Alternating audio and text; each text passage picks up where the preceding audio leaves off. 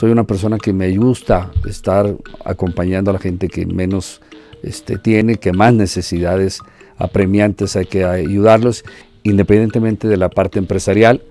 Yo siempre lo digo y la gente lo sabe, yo vivo para la política, yo no vivo de la política.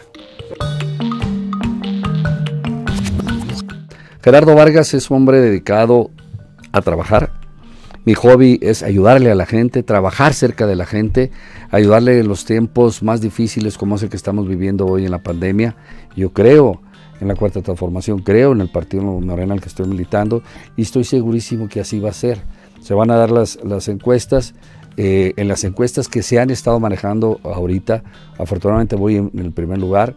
No soy un producto electoral nuevo, sino que ya tengo muchos años pues eh, trabajando en estas circunstancias. En el 2016 fui el primer lugar en las encuestas para gobernador del estado, en el 2017 para senador de la República de igual manera. No me cumplió el partido en el que está militando y tomé la decisión de irme a donde sí sé y me coste y estoy seguro que así va a pasar eh, en la cuarta transformación morena de que el resultado definitivo va a ser lo que digan los sinaloenses a través de una encuesta. Bueno, por supuesto que hay diferentes grupos en todos los partidos políticos, o sea, pues hay que ver cómo se están agarrando entre todos, ¿no? Todos los institutos políticos, no, hay uno que sea la excepción.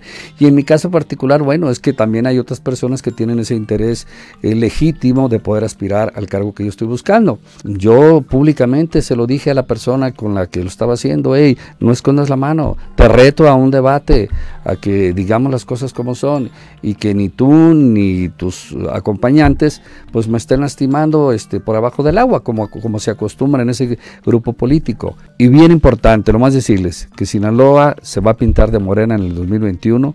No tengan ninguna duda que Sinaloa le va a llegar bienestar a su pueblo, le va a llegar mayor producción y sobre todo le vamos a generar una riqueza para que México siga grande, que México se dé la consolidación, la maduración de la cuarta transformación.